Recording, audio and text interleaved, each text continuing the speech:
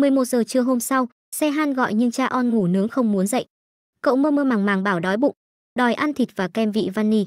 Xe han luyến tiếc hôn cha on liên tục, bị làm phiền giấc ngủ, cha on bực bội đẩy xe han ra. Cậu ta cười hớn hở, biết rồi không làm nữa đâu, cậu ngủ thêm chút nữa đi. Một lúc lâu sau, cha on tỉnh giấc mò mẩm tìm điện thoại, sau đó mới nhớ ra nó bị rơi mất rồi. Cậu bất lực vùi đầu vào gối vì chẳng có chuyện gì ra hồn cả. Giờ mới nhận ra không thấy xe han đâu, nhớ là trước lúc ngủ thiếp đi, cậu ta vẫn còn ở bên cạnh. Cha on lại chán nản vùi đầu vào gối, chỉ muốn thế này rồi biến mất luôn thôi. Cuối cùng cũng quyết định bước xuống giường, cậu ngó nghiêng xung quanh tìm quần áo, nhưng chẳng thấy đâu cả. Cậu trùng chăn rồi đi khắp nhà tìm xe han, nhưng không thấy. Thử nhìn ra ngoài, thì xung quanh chỉ nhìn thấy núi, đây là đâu cũng không thể đoán ra. Hết cách, cậu đành ngồi ghế sofa đợi. Ở một nơi xa lạ, không có điện thoại, vì cũng mất, nên trong tình huống này, cậu chỉ có thể dựa vào sự giúp đỡ của xe han, cậu bực bội nằm dài ra ghế. Một lát sau xe han trở về, trên tay vác rất nhiều đồ mua ở siêu thị. Xe han cười tươi rói hỏi, đang đợi tôi à? Cha on giận dỗi né tránh nói, bỏ cái tay ra.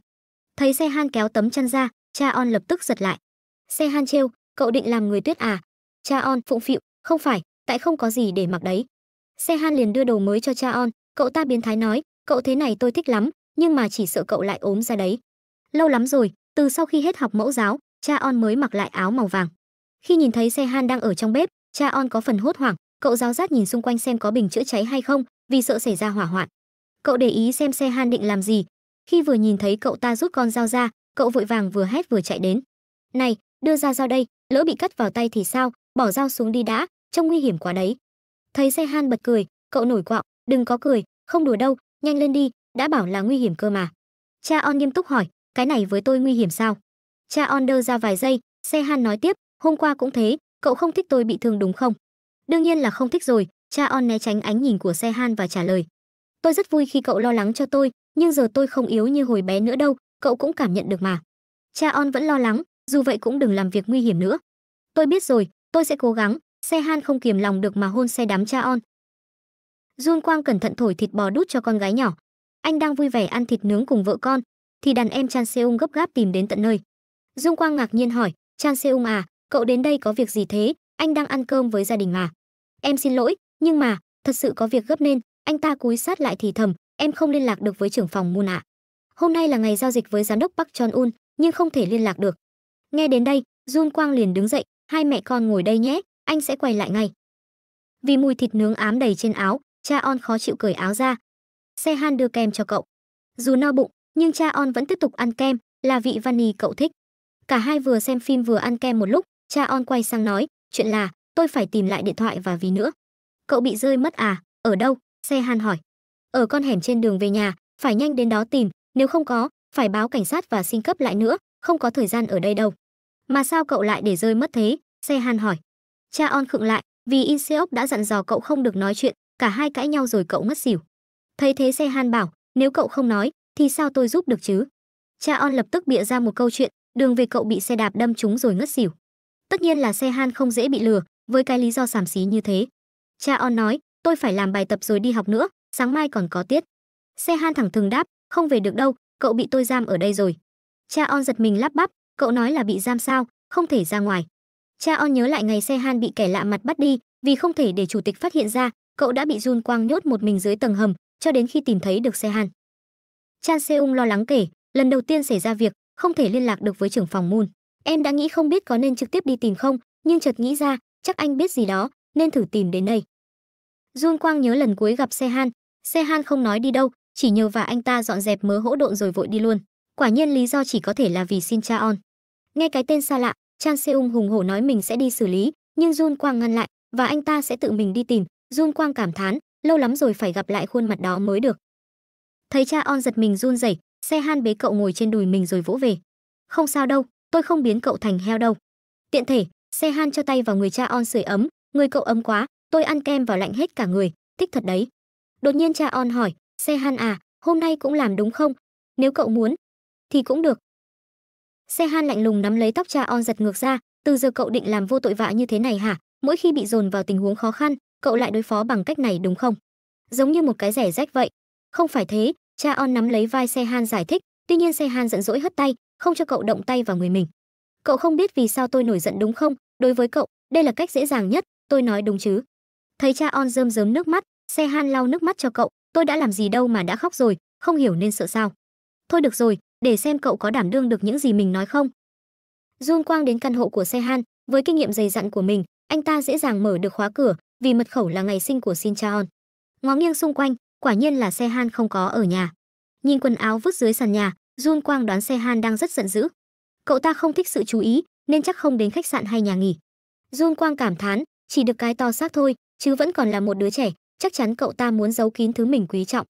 Anh ta ngồi suy đoán, nhìn có vẻ gấp gáp nên không thể đi xa được, có thể là căn nhà trên núi cách đây một tiếng đi xe. Biết sở thích của cha on, Sehan giơ tay định tác động vật lý lên người cha on. Nhưng sau đó chỉ nhẹ nhàng ôm lấy mặt cậu, cho dù cậu có thích thì cũng không được đâu, làm sao mà tôi đánh cậu được chứ?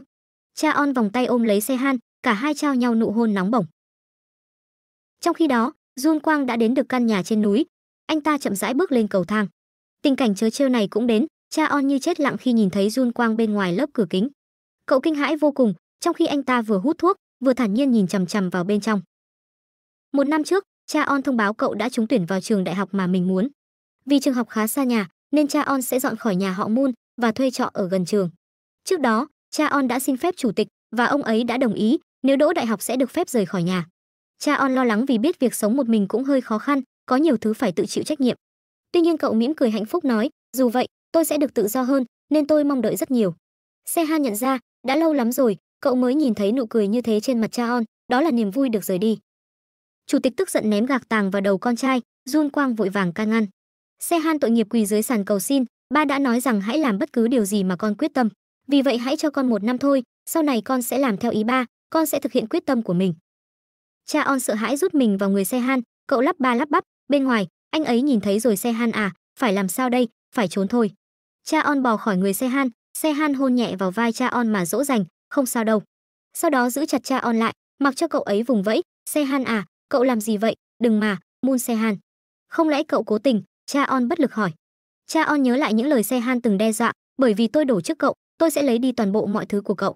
Trước câu hỏi của cha on, Sehan im lặng không trả lời. Cha on rơm rớm nước mắt hỏi lại, không phải đúng không? Sehan vẫn không trả lời, mà mạnh tay áp chế cha on hơn, mặc cho cậu kêu gào, bỏ ra, Sehan, đừng như vậy, tôi sẽ làm tất cả những thứ khác, làm ơn, đau thật đó, dừng lại đi làm ơn. Jun Quang kiên nhẫn đứng ngoài đợi. Sau tất cả, Sehan buông tay ra, vừa xoay người cha on lại, vừa gọi, cha on à, cha on bật khóc nức nở. Tôi bị điên rồi đúng không? Nhưng mà nếu cần thiết, tôi có thể làm hơn thế, vì tôi thích cậu. Dung Quang hỏi, cậu biết tôi sẽ tìm đến đây à? xe han bình tĩnh đáp, để xem nào, em chỉ nghĩ cũng có thể anh sẽ tìm đến. Nói dối. Tôi không biết tại sao cậu lại làm đến mức này. Xin cha on là bị bắt ở nhà cậu, thay cho bố cậu ta, dù sao thì cũng không thể chạy đi đâu được. xe han cười nhạt đáp, chuyện đó, em không cần biết. Jun Quang trách vấn, chuyện tới nước này rồi, cậu vui chứ? Vui sao? Chỉ có một điều em biết, nỗi sợ hãi còn bám dai dẳng hơn cả tình yêu. Với cả, không phải em vui mà là anh vui mới đúng. Bởi vì từ giờ anh không cần phải theo giám sát em nữa. Quay về và kể lại cho ba tất cả những gì anh nhìn thấy, nhiệm vụ của anh sẽ kết thúc. Xe Han đến chỗ cha On và xoa đầu cậu ấy. Không lạnh sao? Cha On giận dỗi quay mặt đi. Xe Han nói, cha On à, bây giờ chúng ta quay về nhà thôi. Xe Han quay trở lại với công việc của công ty. Nhìn vết máu dính trên tay mình, cậu cẩn thận lau sạch trước khi lên nhà. Sau khi tắm xong, xe Han vào phòng với cha On. Cậu ta hỏi Han, bữa tối, đã ăn chưa? Cha On khẽ gật gật đầu mình. Cậu đang viết gì thế? Kịch bản à? Cha On gấp máy tính lại, sau đó vuốt ve mái tóc xe Han nói, tóc dài quá rồi đó, che mất mặt luôn rồi. Tôi cứ tưởng cậu không thích gương mặt của tôi chứ. Cha On mỉm cười, đồ ngốc, có người như vậy sao, khi nào có thời gian thì cắt đi. Xe Han bất ngờ giữ lấy tay cha On, rồi cúi người hôn cậu ấy, dù có né tránh, thì Xe Han cũng tiếp tục theo đuổi vị ngọt đôi môi ấy.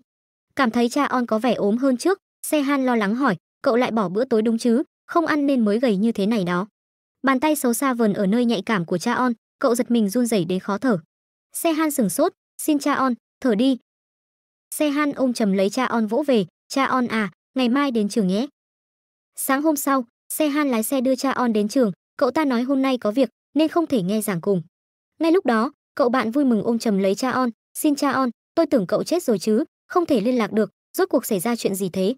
Cha On chán nản vùng vẫy thoát khỏi cậu bạn nhiệt tình thái quá này. Có chị tiền bối hỏi, hai bọn em có chuyện gì mà không đến trường vậy, mọi người lo lắng lắm đấy. Cha On còn ấp úng thì xe Han nói, tụi em bị ốm. Cậu ta thân mật kéo cha On sát lại gần mình, cha On đã lây cho em, vì chưa khỏi hẳn nên phải cẩn thận ạ, có thể bị lây đó. Mọi người lo lắng, có nặng lắm không? Vậy phải nghỉ ngơi thêm chứ, để chị nói giáo sư cho. Cha on khó xử đáp, không cần đâu ạ, mà mọi người vào lớp trước đi, còn em và Se Han sẽ vào sau. Bọn họ vừa đi vừa bàn tán về mối quan hệ giữa Cha On và Se Han. Hai người họ có nhiều bí mật riêng lắm, không giống mối quan hệ bạn bè, đầu học kỳ đã có nhiều tin đồn rồi. Nhìn thấy biểu cảm cứng nhắc của Cha On, Se Han nói, nếu bận tâm thì quay về nhà nhé. Cha On phản ứng ngay lập tức, lại bắt tôi ở nhà một mình đợi cậu à. Se Han chơi chẽn bảo, cũng không tệ mà. Cha On bất lực, không thích, sắp thi cuối kỳ rồi, còn đi quay phim nữa, cho nên cái này quan trọng với tôi lắm. Cha On mếu máu, nếu như mọi thứ hỏng bét hết thì tôi phải làm sao? Se Han dỗ dành, tôi biết rồi, đừng khóc nữa, bình tĩnh rồi vào lớp đi. Se Han đưa điện thoại mới cho cha On rồi dặn dò, học xong thì gọi điện cho tôi, tôi sẽ đến đón, hôm nay tôi có việc nên phải đi đây. Mỗi ngày Se Han đều đi đâu đó, cha On vô cùng thắc mắc. Đàn em Chan Seung bắt được một tên chuyên đe dọa các chủ doanh nghiệp mà nhà họ Moon đang quản lý để ăn chặn tiền bảo kê. Hiện tại các chủ doanh nghiệp từ chối nhận lại tiền và chỉ yêu cầu xử hắn. Sehan lạnh lùng, họ đã nói vậy rồi, thì anh thích như nào đây? Hắn ta run rẩy túm lấy chân Sehan cầu xin, tôi sai rồi tha cho tôi. Sau khi học xong, cha On lôi điện thoại ra kiểm tra. xe Han chỉ lưu mỗi số của cậu ta trong điện thoại. Nghĩ lại thì, cha On cũng chỉ thuộc mỗi số của xe Han, cậu cũng chẳng có ai khác để liên lạc. Định gọi cho xe Han đến đón về, thì ngay lúc đó bạn cậu đến nói, mọi người trong nhóm sẽ cùng đi uống rượu và bàn luận về bộ phim sắp tới với đội kịch. Thấy cha On định không đi, cậu bạn này nỉ, cái này quan trọng lắm đó, cậu định làm phim một mình à? Sao lại không đi được, cậu lại cùng với Moon Se Han, nghe bạn nói thế, cha On quyết định cùng đi với mọi người. Bị đánh, hắn ta sợ hãi cầu xin, con tôi vừa mới sinh, tôi không còn cách nào khác, tôi sẽ trả lại tiền, xin hãy cho tôi thời gian gom góp. Đàn em Chan Seung đã điều tra về tên này, bảo hiểm của hắn không được nhiều tiền, còn bảo hiểm nhân thọ của vợ hắn thì được một khoản lớn. Se Han ra lệnh đàn em tìm đến nhà hắn. Hắn ta hoảng hốt khoan, khoan đã, chờ chút, tại sao là vợ tôi chứ? Se Han lạnh lùng nói, vì anh muốn sống mà. Cha On say xỉn lảo đảo ra khỏi quán rượu, đã lâu rồi cậu mới uống, nên chưa gì đã say đến mức đầu óc quay cuồng. Trong lúc xử lý tên kia, thì cha On gọi điện đến, xe Han liền quay đi chỗ khác để nghe máy, thì bất ngờ, hắn ta rút con dao ra, rồi lao đến chỗ xe Han, chết đi thẳng khốn. Tiếng dao cắt phập vào da thịt, máu đỏ văng tung tóe. Cha On lại nhảy, xe Han à, cậu nói học xong thì gọi điện cho cậu mà, cho nên tôi. Trong khi đó, xe Han bình tĩnh giữ chặt con dao trong tay và trả lời, cậu uống rượu à, vừa nói cậu ta vừa dễ dàng khống chế hắn ta. Cậu đang ở đâu thế? Tôi sẽ đến đón, ở đó đợi tôi một lát. Cha On à, tỉnh dậy đi, có người đến gọi. Cha On mơ màng mở mắt nói, cậu đến rồi hả? Xe Han à? Tuy nhiên người đó không phải Xe Han.